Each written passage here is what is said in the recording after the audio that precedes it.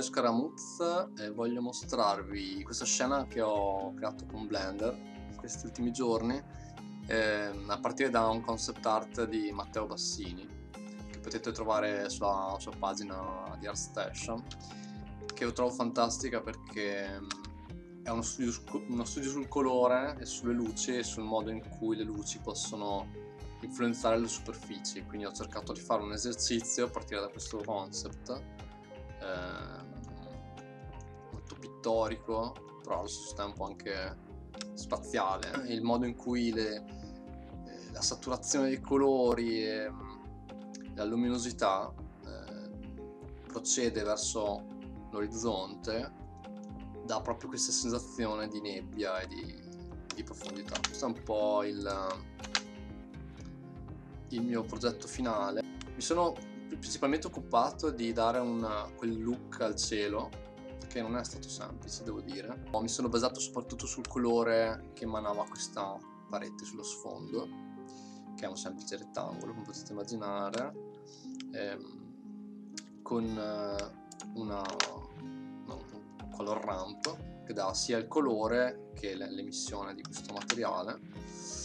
Dopodiché sono partito a introdurre diciamo che forse penso che sia l'unica texture che ho importato esterna rispetto a tutto il resto e, che è appunto semplicemente una, una nuvola con un alfa.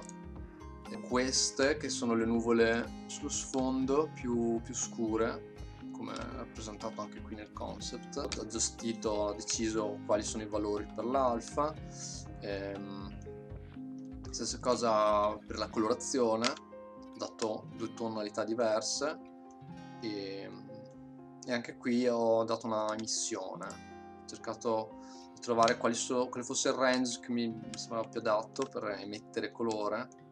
Cioè più che altro emettere luce insomma. E la stessa cosa ho fatto per, secondo, per il secondo strato diciamo di, di nuvole. Eh, solo che ovviamente essendo molto più luminose più opache diciamo l'ho dovuto personalizzare anche qua e ognuna di queste nuvole ha una sua luce. Adesso mostriamo anche le luci. E infatti diciamo queste nuvole appaiono così luminose appunto perché oltre ad essere a emettere colore anche se non è sufficiente a emettere luce scusate ho aggiunto ad ognuna di queste nuvole un'area. un colore di tipo area, avendo una luce colorata no, dà proprio un tono anche alla, alla nuvola stessa. No?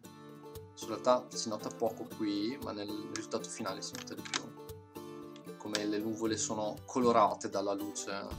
Questo per, quanto, questo per quanto riguarda il cielo, diciamo. Dopodiché io mh, ho deciso di fare una carrellata, quindi ho creato degli elementi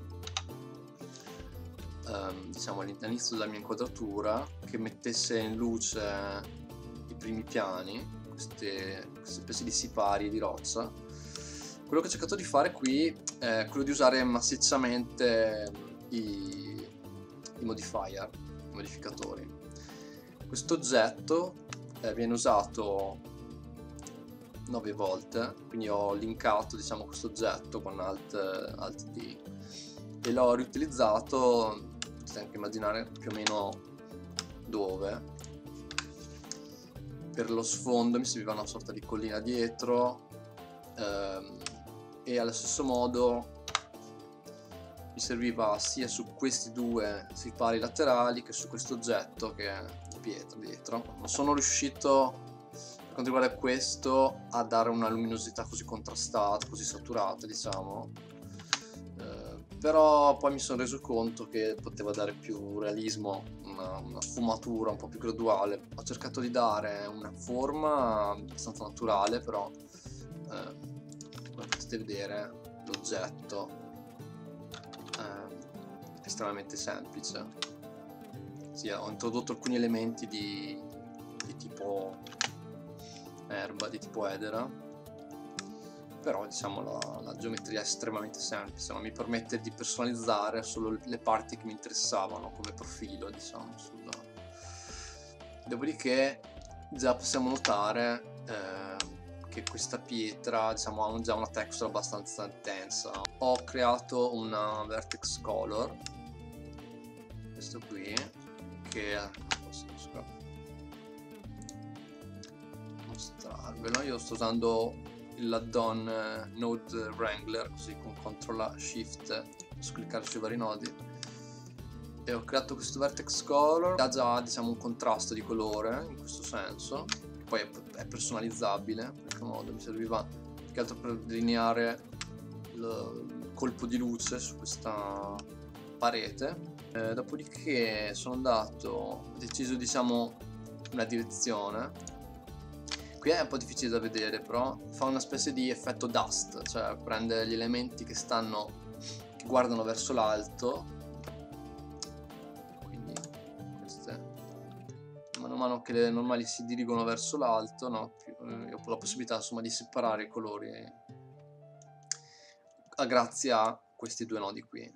Dopodiché ho, ho mixato diciamo, queste due mappe, bianco e nero, una del vertex color, una del, delle direzioni della normale, e ho dato questa colorazione che mi sembra particolarmente efficace alla quale poi ho moltiplicato, aspetta, nascondiamo le normali, se no ho mappato diciamo l'oggetto e ho creato questa texture noise alla quale che, che poi funziona diciamo come vettore quindi di, come deformazione di quest'altra texture. Questa texture abbastanza deformata mi sembra abbastanza interessante l'ho contrastata e ho moltiplicato questa texture a un'altra texture invece molto più semplice diciamo un altro noise texture che qui l'ho contrastato in modo da creare quest'altra superficie diciamo.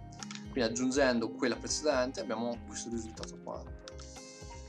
Eh, questo risultato qua va a moltiplicarsi sia con i colori che abbiamo visto prima per quanto riguarda appunto il colore.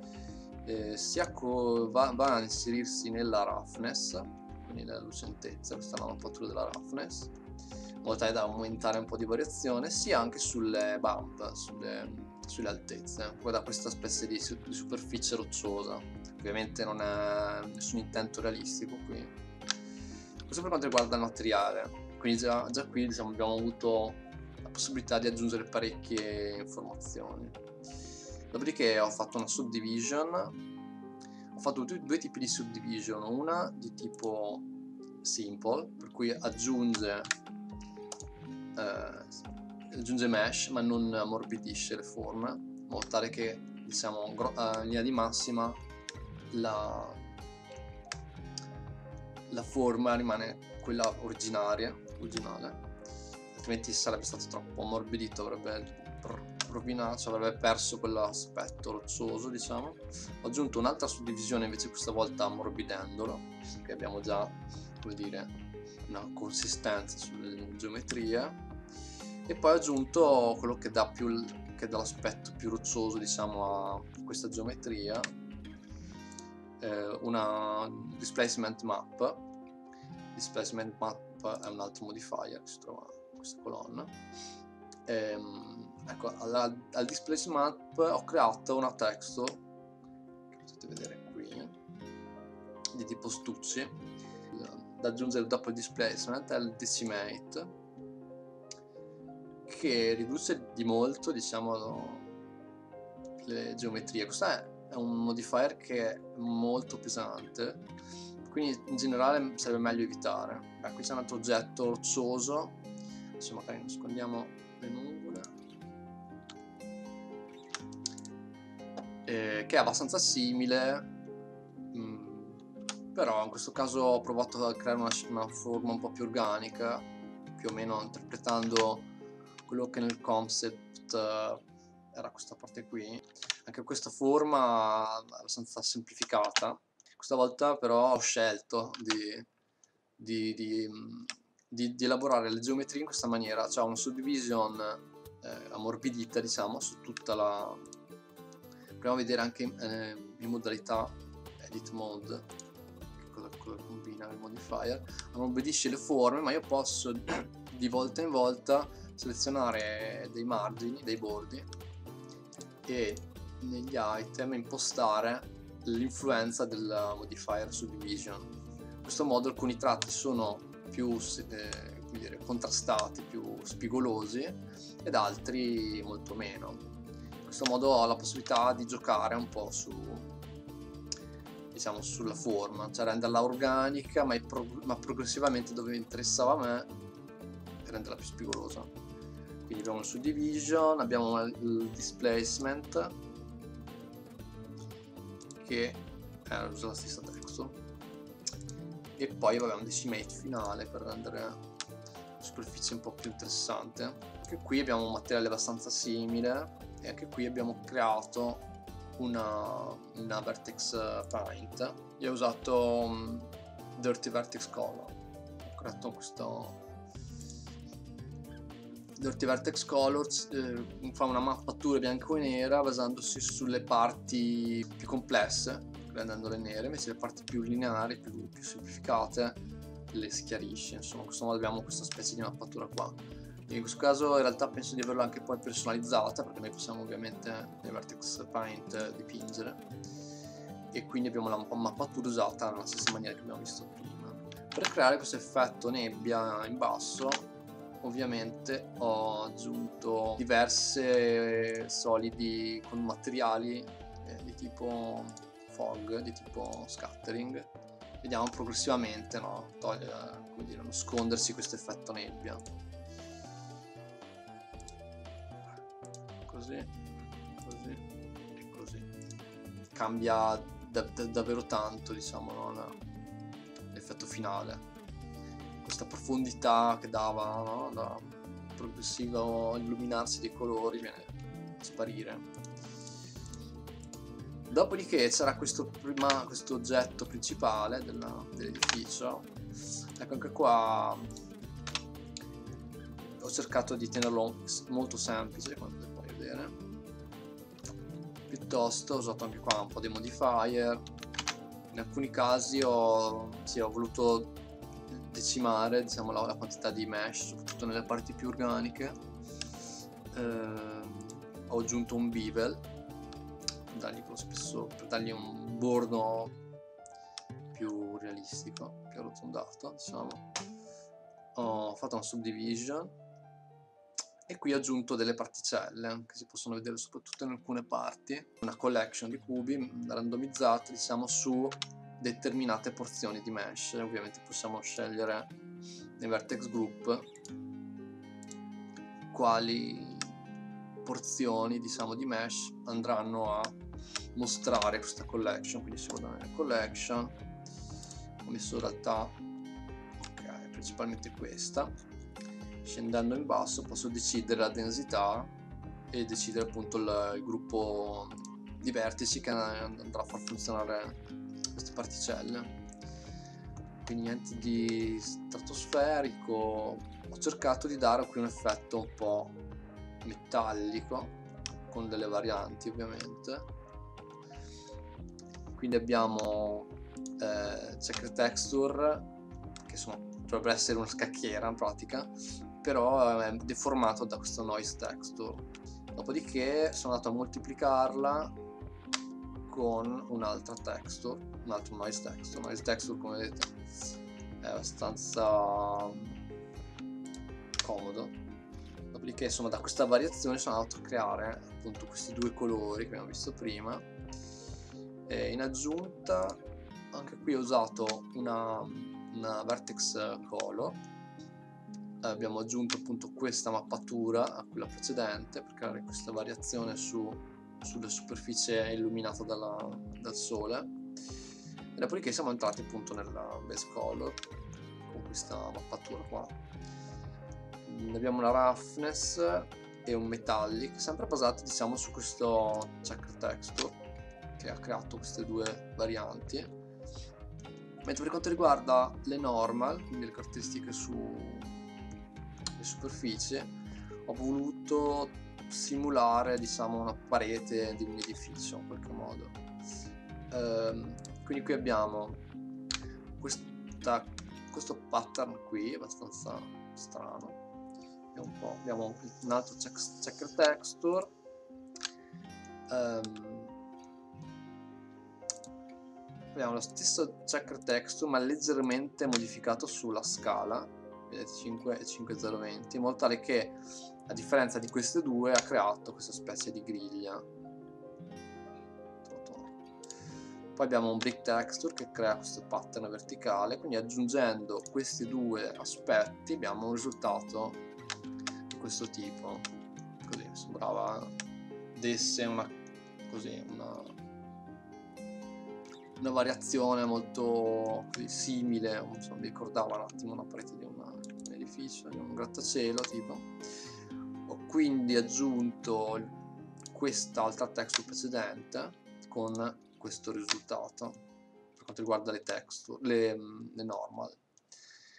Quindi sono andato col suo nodo particolare sulle altezze, molto lo 0, 0.1 e sono entrato appunto con le normal nel, nel mio materiale anche se magari a volte non sembra, però ci sono parecchie luci.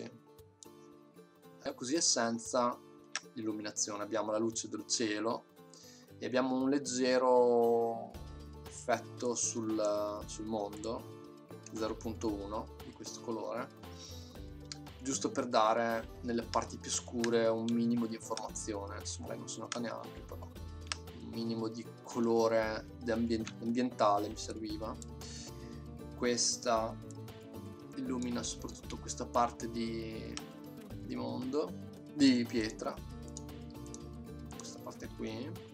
Ecco, spesso usavo questo tipo di luce qui, di tipo aria, e questa luce andava a illuminare semplicemente questa parte qui. Questo mi serviva soprattutto sullo sfondo, che si è suonato poco, ma c'è una c'è una collina dietro che mi serviva molto illuminata, molto tale da, da appiattirsi diciamo, sullo sfondo, non entrare troppo nel, nei toni scuri. È proprio come um, strati di, di, di, pittura, insomma, una pittura d'olio, delle velature, diciamo. È più luce verso il basso, sono proprio lampidi pennellate, insomma. Anche qui, nella parte qui, Vabbè, per ultimo ho messo una, così, un tocco di, di movimento dato da questo stormo di uccelli. Sono delle geometrie sulla quale ho diciamo, distribuito con una missione di, di, di, di particelle. Sono andato insomma, a distribuirle con una direzione più possibile legata alla direzione che, stanno, che prendono gli uccelli, con un po' di variazione, un po' strane viste di qua, viste dall'alto, perché questo uccello ad esempio sta girato parecchio, però alla fine nella inquadratura che ho scelto non si notano più di tanto.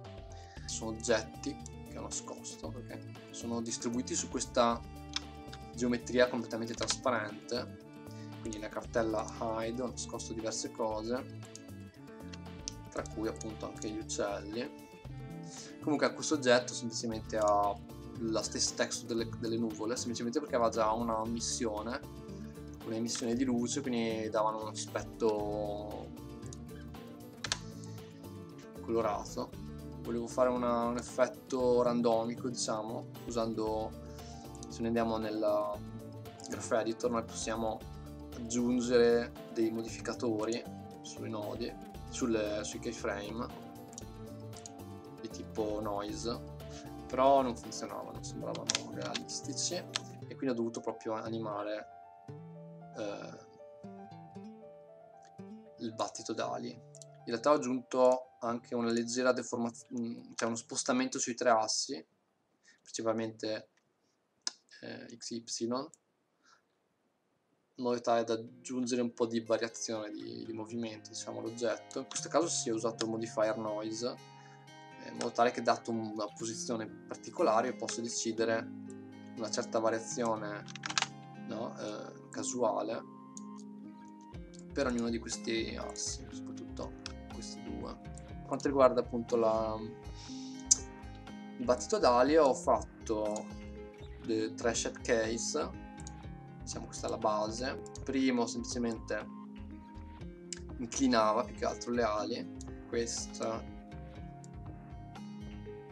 abbassa e alza la seconda parte dell'ala, mentre il terzo tendeva ad abbassarle in questa maniera. Sono insomma delle de deformazioni che messe assieme eh, così mi sembra che funziona. Insomma, non è scientificamente realistico, però insomma, è sufficiente per quello che mi serviva, essendo molto piccoli gli oggetti.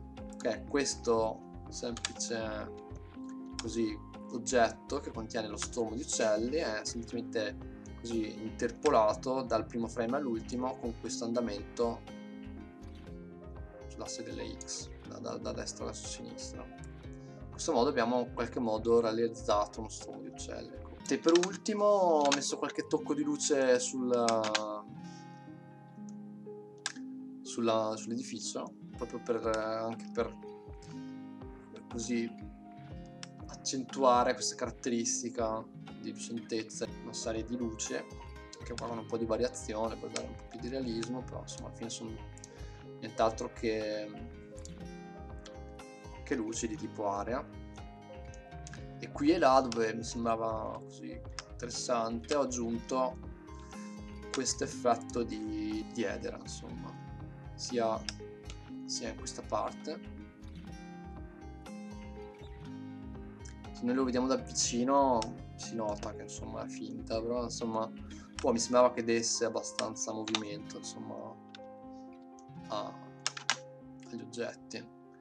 E per creare questa cosa siccome non volevo usare una texture esterna ho semplicemente creato una texture in questa maniera. Ho generato no, la mappatura dell'oggetto ho aggiunto un noise texture, un altro effetto, Musgrave. Ho contrastato questa caratteristica, ho contrastato quest'altra e sono andato dire, ad associare questi due texture in questa maniera che danno un effetto verticale, insomma, diciamo. A questo ho aggiunto una colorazione e anche ho, l'ho sfruttato per creare una mappatura di tipo alfa in modo tale che abbiamo alcune parti visibili e alcune no quindi l'effetto finale no, di semi-trasparenza da questo effetto così un po' elaborato insomma in alcune parti si nota tipo questo è stato un processo abbastanza randomico cioè il punto è che dal momento che noi stiamo mappando eh, e stiamo generando più che altro la mappatura della texture non si basa sulla, sulla UV map, che questo è un aspetto che velocizza parecchio. Quindi grosso modo nessuno di questi oggetti si basa su, sulla UV map, a parte ovviamente le nuvole, come ho detto prima. E quindi la cosa interessante è che noi abbiamo così questa texture all'infinito, essendo una, texture procedurale, ogni volta che noi andiamo ad aggiungere mesh, eh, niente, questa texture continuerà a ricrearsi e a ripopolarsi insomma. È un aspetto che trovo molto interessante quindi niente cioè l'utilizzo insomma delle texture procedurali come vedete la texture continua a replicarsi all'infinito non si basa sulla, sulla mappatura ma tendenzialmente su, su una mappatura tridimensionale virtuale all'infinita insomma Ok, con questo diciamo finito, ho finito insomma questa carrellata, ripeto spero vi sia piaciuto, andate a vedere i lavori di Matteo Bassini e se avete domande potete scriverlo nei commenti. Grazie per l'attenzione.